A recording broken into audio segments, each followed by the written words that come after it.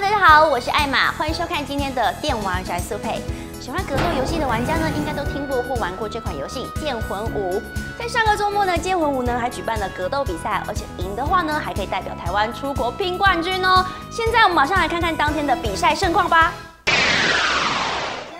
万代南梦宫最受玩家欢迎的刀剑格斗游戏《剑魂五》，以其畅快的游戏风格而大受好评。周末期间，万代南梦宫也在台北地下街举办了《剑魂五》PS 三游戏比赛。因为冠军不但有两万元的奖金，还有机会代表台湾参加今年三月十七日在英国伦敦举办的《剑魂二零二世界大赛，所以吸引了各方好手齐聚一堂，展开前所未有的激烈战斗。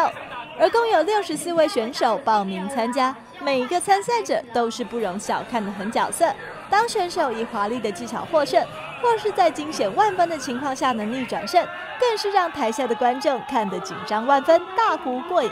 尤其当比赛进行到最后八强时，每一个参赛者都是实力深藏不露，稍一不注意，可能就被对方逆转 KO。精彩比赛获得满堂彩，经过激烈厮杀后的优胜者，也将带着台湾玩家的祝福，前往英国拼世界冠军。我们也一起替台湾选手加油鼓励吧！